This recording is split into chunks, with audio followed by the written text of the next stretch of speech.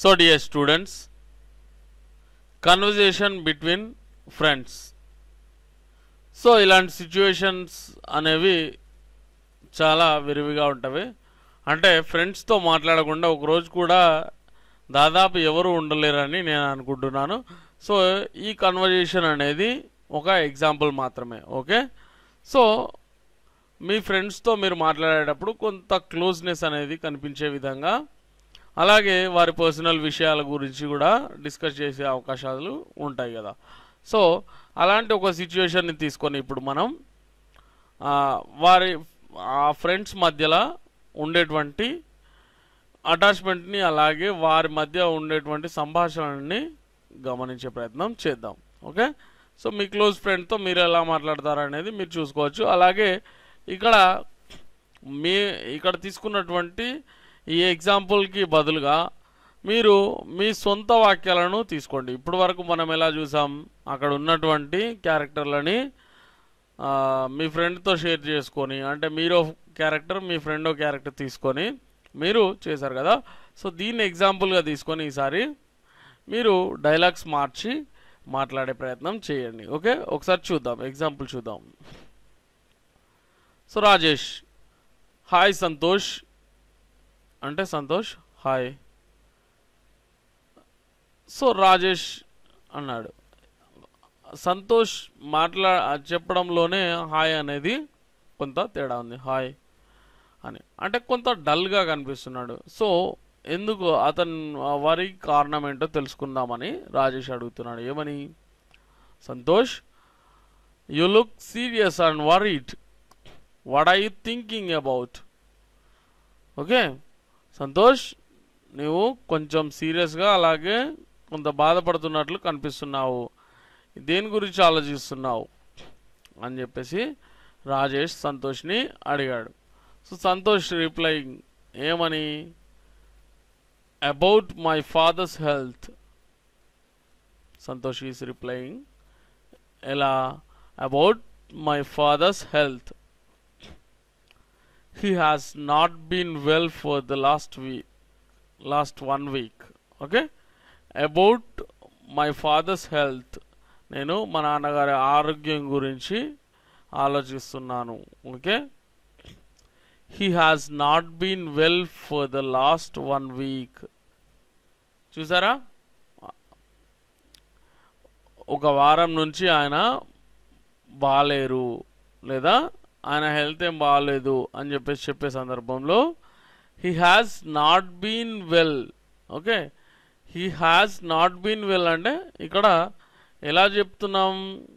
ఇది కొంతకాలంగా ఇలాగే జరుగుతుంది అనే సందర్భంలో మనం హ్యాస్ బీన్ అనేది యూజ్ చేస్తున్నాం. Okay? Has not been has not been has been same కదా. కాకపోతే negative version okay? Positive and negative he has not been well for the last one week ఆయన ఒక వారం వారం నుంచి ఆయన హెల్త్ ఏం బాగాలేదని చెప్పే సందర్భంలో about my father's health he has not been well for the last one week అని చెప్పేసి చెప్తున్నారు. సో ఇక్కడ రాజేష్ ఏమంటున్నాడు? వాడి డి డాక్టర్స్ సే డాక్టర్ ఏమన్నారు? Santosh. Doctor asked me to take him to Bengaluru. Doctor నన్ను ఆయన్ని బెంగళూరుకి తీసుకెళ్ళవా తీసుకెళ్తారా అని చెప్పేసి అడిగారు. ఓకే. లేదా బెంగళూరుకి తీసుకెళ్ళమని చెప్పారు అని కూడా ఇక్కడ అర్థం అనమాట ఓకే? సో రాజేష్ అడుగుతున్నారు మరి వై ఆర్ యూ డిలేయింగ్ మరి నువ్వు ఎందుకు డిలే చేస్తున్నావు అని చెప్పేసి అడుగుతున్నాడు. సో సంతోష్ ఏమని రిప్లై ఇస్తున్నారో? ఒకసారి గమనించినట్లయితే I don't have any money at present ప్రస్తుతం నా వద్ద డబ్బులు లేవు. Okay I don't have any money at present ఇదే వాక్యాన్ని మనం ఇంకో విధంగా కూడా చెప్పుకోవచ్చు. ఇంతకుముందు చెప్పుకున్నాం మనం. ఎలా? I have no money at present okay I don't have any money అన్న ఐ హ్యావ్ నో మనీ అన్న ఒకటే అవుతుంది. Okay I don't have any money at present నా దగ్గర అసలు ఏం డబ్బు లేదు. ప్రస్తుతం నా దగ్గర అసలు డబ్బు లేదు.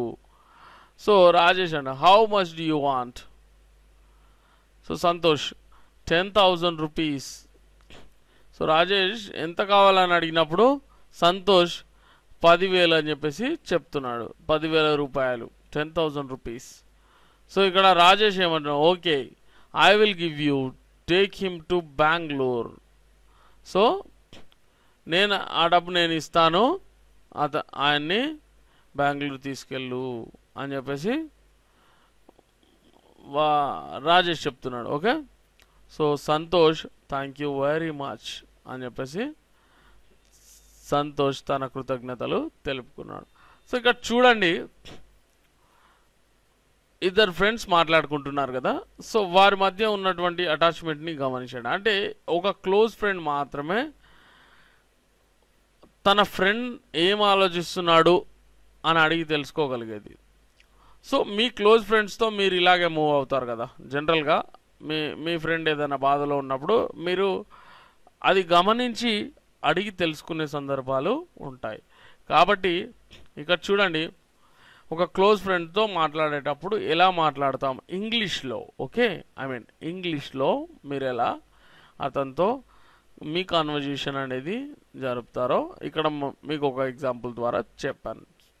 సో ఇదే సందర్భాన్ని మార్చండి okay? About my father's health అనేది తీసేసి ఇంకేదైనా సందర్భాన్ని తీసుకొని ఆ సందర్భాన్ని ఇక్కడ రీప్లేస్ చేసి మాట్లాడుకోండి ఓకే? సో బాగా ప్రాక్టీస్ చేయండి. ఇంగ్లీష్లో ఫ్లూయెంట్గా మాట్లాడండి. Okay? All the best. So dear students conversation between a doctor and patient so ఇక్కడ conversation between a doctor and patient అంటే ఏంటండి? ఒక డాక్టర్ మరియు పేషెంట్ మధ్య జరిగేటువంటి సంభాషణ. ఓకే? సో చూసినట్లయితే జనరల్ కాన్వర్జేషన్ చూడండి. Patient excuse me doctor I have been suffering from stomach ache for the last two days I have been suffering from stomach ache for the last two days అని చెప్పేసి patient డాక్టర్తో అన్నారు. ఏం అంటే ఏంటండి నేను రెండు రోజులుగా కడుపు నొప్పితో బాధపడుతున్నాను అని చెప్పేసి. ఓకే? సో డాక్టర్ అన్నారు how old are you do you eat meat మీ వయసు ఎంత? మీరు మాంసం తీసుకుంటారా లేదా మీరు మాంసం తింటారా? Patient sir I am twenty five I don't eat meat so నేను ఇరవై ఐదేళ్ళ వయసు గల వారిని నేను మాంసం తినను అని దాని అర్థం. Okay? I am twenty five I don't eat meat okay? నేను మాంసం తినను. నా వయసు ఇరవై ఐదేళ్ళు ఓకే? సో ఇక్కడ చూసినట్లయితే డాక్టర్ ఏమంటున్నారు please lie down on the couch I will examine you please loose your clothes a little అని చెప్పేసి అన్నారు. సో అలాగే అంటే ఇక్కడ దీనికి అర్థం ఏంటో తెలుసుకున్న తర్వాత నెక్స్ట్ డైలాగ్ వెళ్దాం. ఓకే సో అక్కడ ఉన్నటువంటి బెడ్ పైన పడుకోండి. నేను మీ మిమ్మల్ని పరీక్షించి చూస్తాను.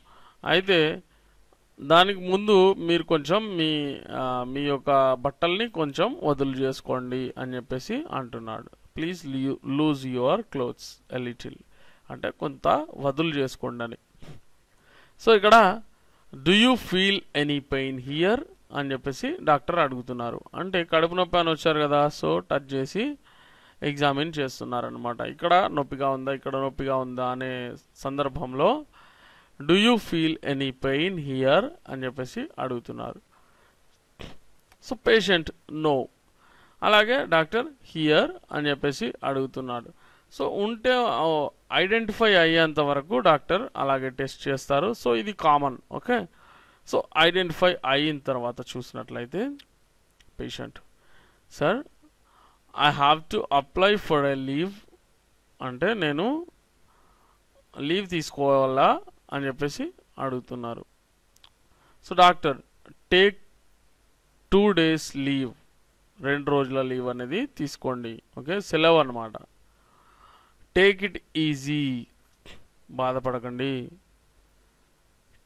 take these tablets for three days one in the morning and another in the night after meals okay ఒకటి. ఈ టాబ్లెట్స్ తీసుకోండి. మీరేం బాధపడకండి తగ్గిపోతుందని చెప్పేసి చెప్పి అలాగే మూడు రోజులకి టాబ్లెట్స్ ఇచ్చారు. ఒకటేమో ఉదయం వేసుకోండి ఇంకొకటి రాత్రి. రెండు కూడా భోజనం తర్వాత అని చెప్పేసి. ఓకే?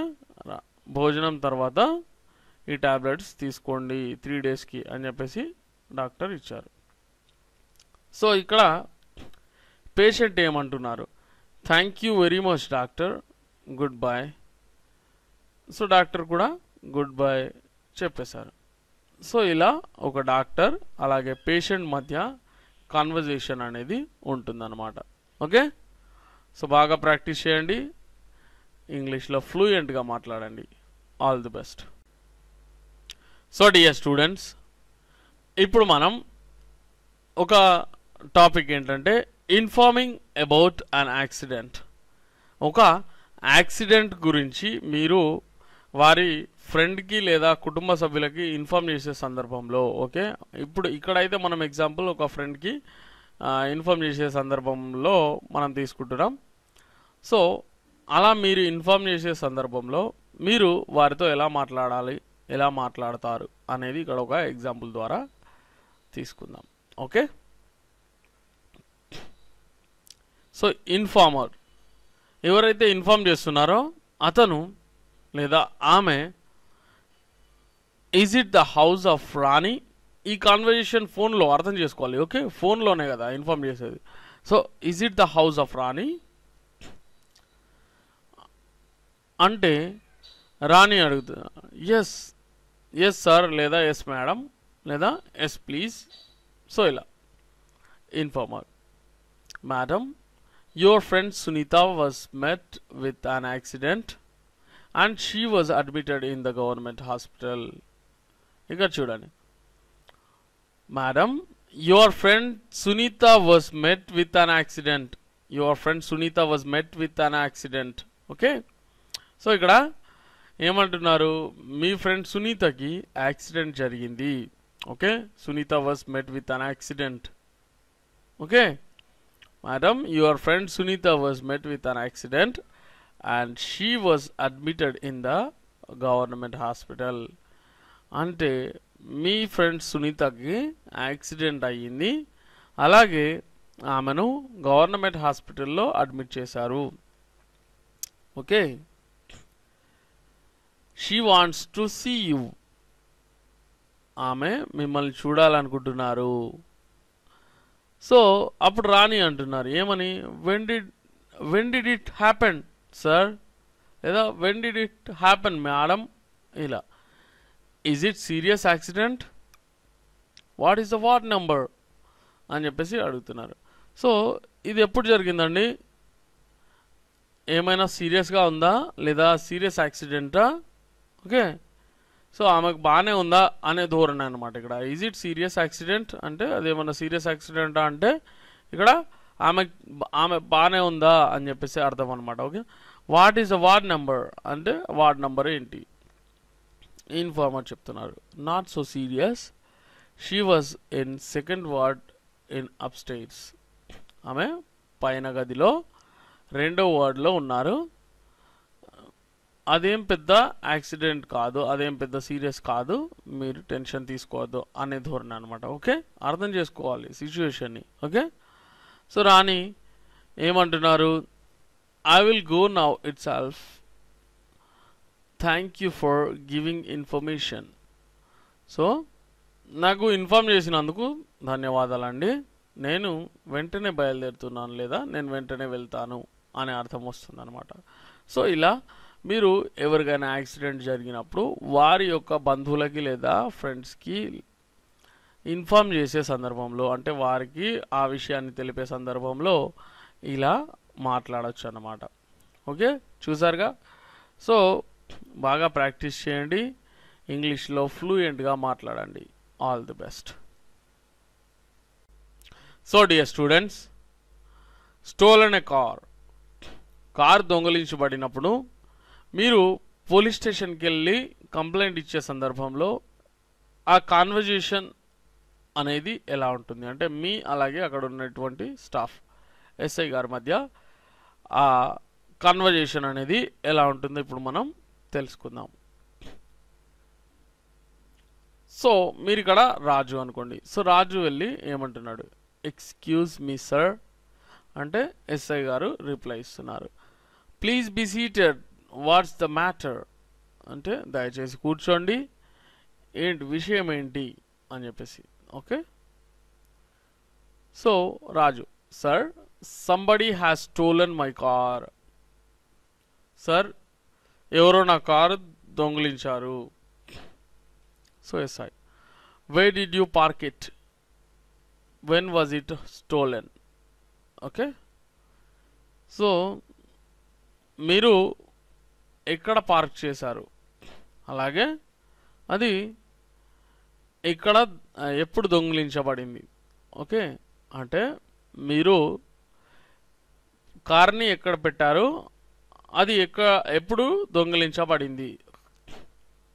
సో ఇలా ఎస్ఐ గారు అడిగారు అనుకోండి.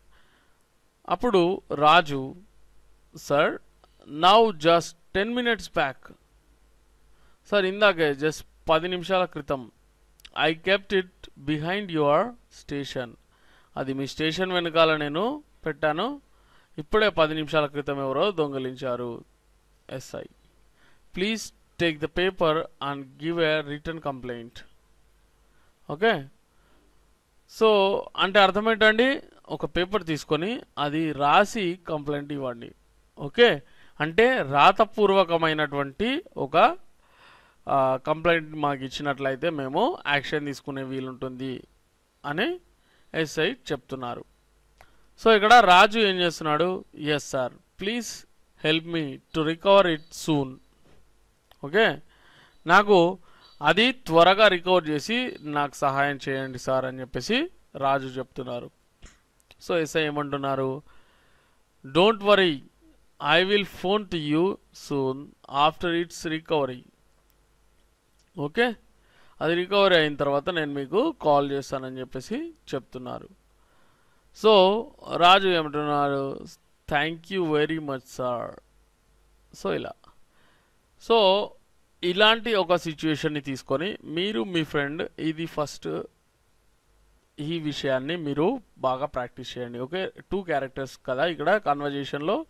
సో ఒకరు ఎస్ఐ గాను ఒకరు రాజు గాను తీసుకొని ఈ కాన్వర్జేషన్ని ప్రాక్టీస్ చేయండి. ఆ తర్వాత సందర్భాన్ని మార్చండి ఓకే? ఇక్కడ ఫర్ ఎగ్జాంపుల్ కార్ ఉంది కదా దాని బదులు ఏ సైకిలో లేదంటే మోటార్ సైకిల్లో తీసుకోండి. అలాగే వేరే విషయాన్ని అంటే ఇంట్లో దొంగతనం జరిగినప్పుడు ఎలాంటి ఎక్స్ప్లే ఎక్స్ప్లెనేషన్ అనేది ఉంటుంది ఓకే? సో మీరు ఆ విషయాన్ని ఎలా ఎక్స్ప్లెయిన్ చేస్తారు ఎస్ఐకి సో అది మీరు మీ సొంత మాటలు చెప్పే ప్రయత్నం చేయండి. ఈ విధంగా చేయడం ద్వారా మీకు ఇంగ్లీష్లో భయం లేకుండా ఫ్లూయెంట్గా మాట్లాడే అవకాశం అనేది ఉంటుంది. ఓకే? బాగా ప్రాక్టీస్ చేయండి. ఇంగ్లీష్లో ఫ్లూయెంట్గా మాట్లాడండి. Okay? All the best. So dear students conversation in interview interview చేసేటప్పుడు జరిగేటువంటి కాన్వర్జేషన్ని ఇప్పుడు మనం తెలుసుకుందాం. ఓకే? సో ఇదొక శాంపుల్ మాత్రమే. ఒకసారి చూడండి.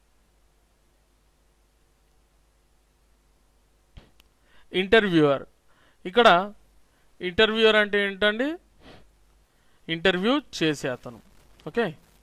సో అలాగే క్యాండిడేట్. ఈ ఇద్దరి మధ్య సంభాషణ ఏ విధంగా ఉంటుంది? ఓకే? ప్రతి ఒక్కరూ తెలుసుకోవాల్సిన విషయం ఇది. ఓకే?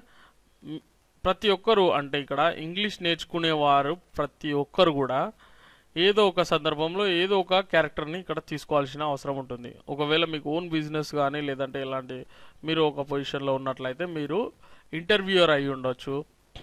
లేదా మీరు ఇంటర్వ్యూకు వెళ్ళి ఉండొచ్చు. అంటే ఏదైనా జాబ్ కోసం ట్రై చేసినట్లయితే క్యాండిడేట్ అయ్యి ఉండొచ్చు. Okay?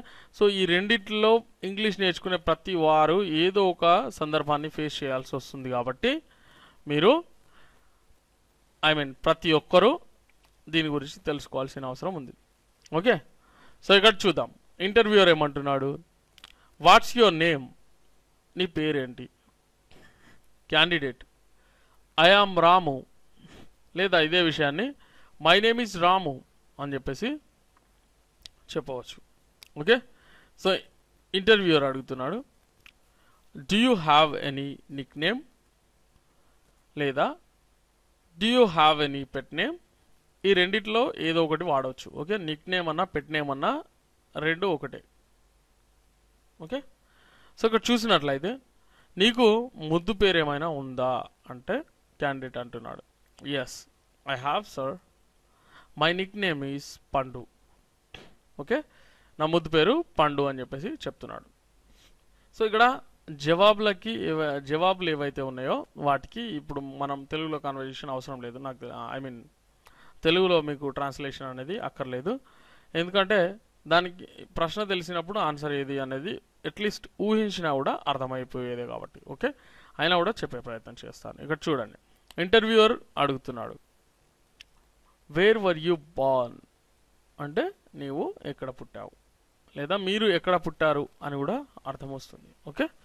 Where were you born candidate I was born in Vijayawada లేదా I was born in Hyderabad so ఇలా ఏదైనా సరే చెప్పొచ్చు. Okay interviewer where were you brought up నీవు ఎక్కడ పెరిగావు? Candidate I was brought up in Vijayawada okay నేను విజయవాడలో పెరిగాను. సో నెక్స్ట్ చూద్దాం. ఇంకా కొన్ని క్వశ్చన్స్ తీసుకున్నట్లయితే. To which place do you belong to which place do you belong చూడండి అడిగే పద్ధతి చక్కగా గమనించాలి okay? To which place do you belong అంటే నీవు ఏ ప్రాంతానికి చెందినవాడివి? I belong to Vijayawada. ఇలా కూడా చెప్పొచ్చు. I came from Vijayawada. ఇలా కూడా చెప్పొచ్చు. I hail from Vijayawada. ఇలా కూడా చెప్పవచ్చు. నేను విజయవాడ నుండి వచ్చానన్నా కూడా ఇక్కడ మీరు విజయవాడకు చెందినవారు అని చెప్పేసి తెలిసిపోతుంది. అలాగే ఐ బిలాంగ్ టు విజయవాడ అన్నా కూడా నేను విజయవాడకు చెందినవాడినని చెప్పినట్లు అవుతుంది. ఓకే? ఈ మూడిట్లో మీరు ఏదో ఒకటి సెలెక్ట్ చేసుకోవచ్చు. ఇక్కడ చూసినట్లయితే next question. Where did you have your schooling ఇక్కడ నీవు స్కూల్ చదువుని ఇక్కడ పూర్తి చేసావు okay? I had my schooling education లేదా I have my schooling in Vijayawada అనవచ్చు లేదంటే I had my school education in Vijayawada అని చెప్పవచ్చు. ఓకే? సో నెక్స్ట్ చూసినట్లయితే ఇంటర్వ్యూయర్ అడుగుతున్నాడు next question what I studying now ఇప్పుడు మీరు చదువు కొనసాగిస్తున్నారా అనే అర్థం కూడా వస్తుందన్నమాట ఇక్కడ. Okay? What I you studying now అంటే ఇప్పుడు మీరు ఇంకా చదువుతున్నారా? అయితే ఏంటి? అనే అర్థం అనమాట ఓకే? కొంతమంది గ్రాడ్యుయేట్లు కూడా వస్తారు కదా? పోస్ట్ గ్రాడ్యుయేట్లు వస్తారు గ్రాడ్యుయేట్లు వస్తారు ఇంకా చదువుతూ ఉండే వాళ్ళు కూడా ఉంటారు. సో దాన్ని ఉద్దేశించి. లేదు అని అనుకుంటే అది వేరే విధంగా వస్తుంది. Okay?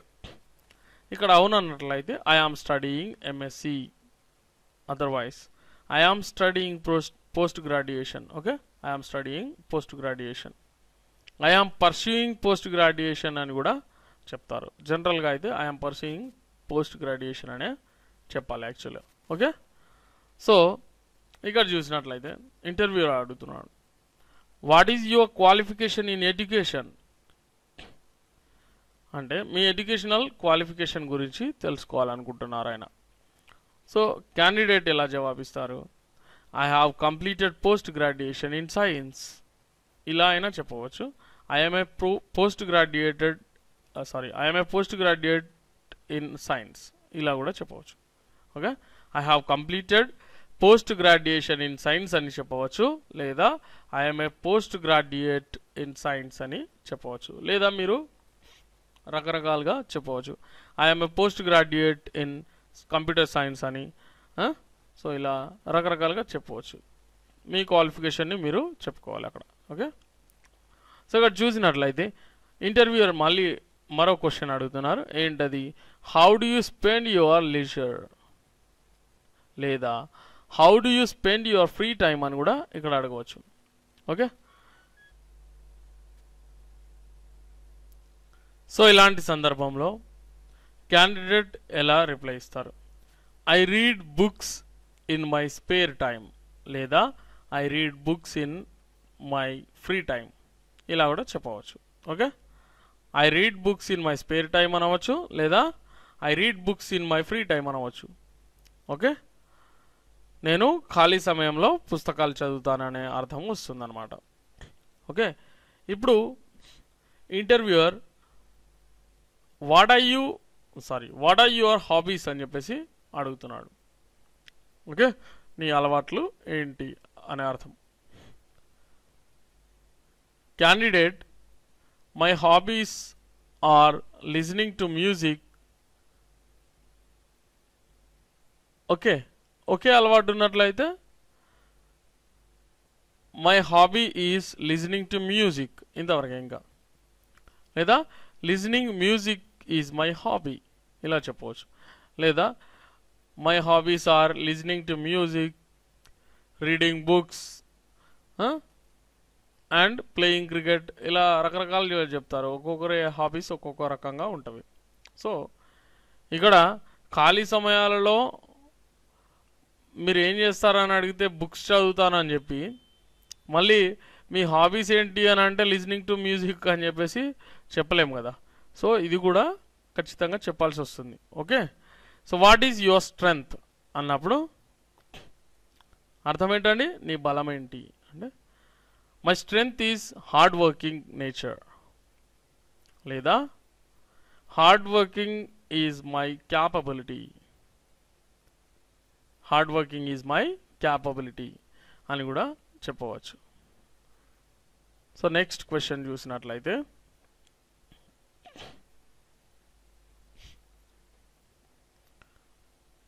What is your weakness నీ బలహీనత ఏమిటి? చూడండి బలం గురించి అడిగారు అలాగే బలహీనత గురించి కూడా అడిగారు. My weakness is anger okay my weakness is anger అంటూ సో నెక్స్ట్ క్వశ్చన్ చూసినట్లయితే what you become in future భవిష్యత్తులో నీ నీవు ఏమవుదామని అనుకుంటున్నావు? ఓకే సో క్యాండిడేట్ చెప్తున్నారు. I want to become a software engineer లేదా I aspire to become a software engineer రెండు ఒకటే అనమాట నేను సాఫ్ట్వేర్ ఇంజనీర్ అవ్వాలని కోరుకుంటున్నాను లేదా నేను సాఫ్ట్వేర్ ఇంజనీర్ని అవుదామని అనుకుంటున్నాను. ఓకే? ఇన్ ఫ్యూచర్ అని పెట్టకపోయినా కూడా ఇక్కడ భవిష్యత్తులోనే అది జరగబోయేదని మనం చెప్పుకోవచ్చు. కదా? సో నెక్స్ట్ చూసినట్లయితే వాట్స్ యువర్ ఎయిమ్ చూడండి మళ్ళీ ఇలా అడుగుతారనమాట okay? What do you what do you become in future అని చెప్పేసి అడిగారు. అలాగే వాట్స్ యువర్ ఎయిమ్ అని కూడా మళ్ళీ ప్రశ్నించే అవకాశాలు ఉంటాయి ఓకే? సో చూసినట్లయితే my aim is to settle in a good position నా లక్ష్యం ఒక మంచి పదవిలో స్థిరపడాలని. ఓకే? సో ఇంకొకటి చూసినట్లయితే my ambition is to do PhD in biology బయాలజీలో PhD చేయాలనేది నా కోరిక. సో ఇలా కూడా చెప్పుకోవచ్చు అనమాట సో ఇలా రకరకాల క్వశ్చన్స్ అనేవి ఇంటర్వ్యూయర్ అడుగుతారు. అలాగే క్యాండిడేట్స్ సమాధానం చెప్పాల్సి ఉంటుంది. సో మరిన్ని క్వశ్చన్స్ని తీసుకొని మీరు ప్రాక్టీస్ చేయవచ్చు. ఓకే? అలాగే మీరు ఇంటర్వ్యూకి వెళ్ళిన అనుభవం ఉన్నట్లయితే వాళ్ళు అడిగిన క్వశ్చన్స్ని కూడా మీరు అడగవచ్చు సో ఇంకొక విషయం ఏంటంటే ఇక్కడ టూ క్యారెక్టర్స్ ఉన్నవి కదా?